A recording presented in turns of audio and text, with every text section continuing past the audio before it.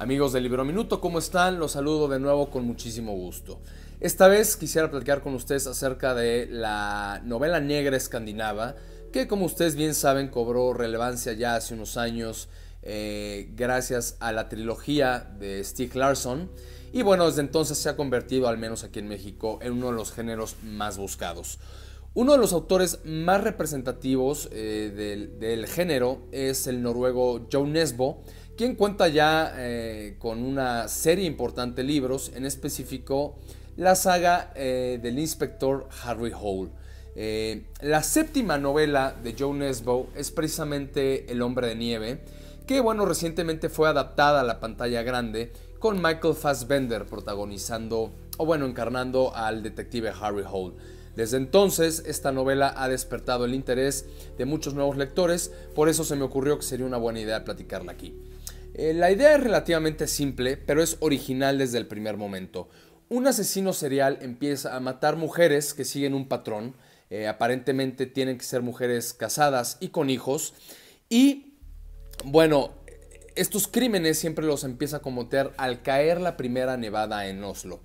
Con cada nuevo asesinato aparece cerca de la escena del crimen un muñeco de nieve con algún detalle perturbador que se convierte en la firma de este asesino y por lo mismo lo bautizan así como el muñeco de nieve.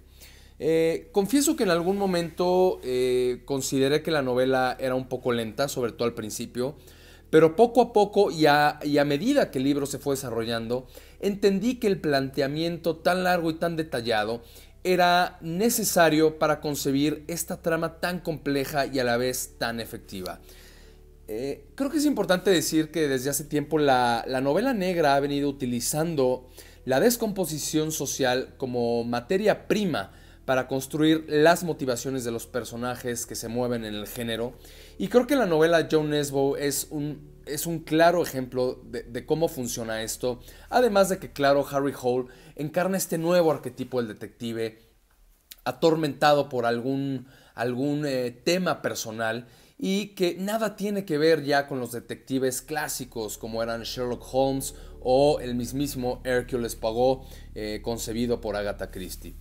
Creo que uno de los eh, puntos más interesantes de esta novela es que desmiente de alguna manera esa perfección que a todos nos han vendido eh, que existe en los países escandinavos.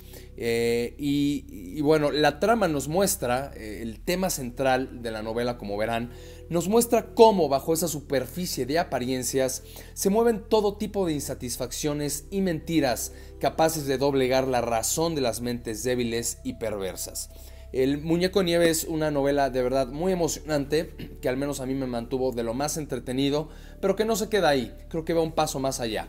Eh, por eso ha trascendido y ha logrado despertar el interés de tantos lectores. Se las recomiendo muchísimo, no se la pierdan y espero que la disfruten.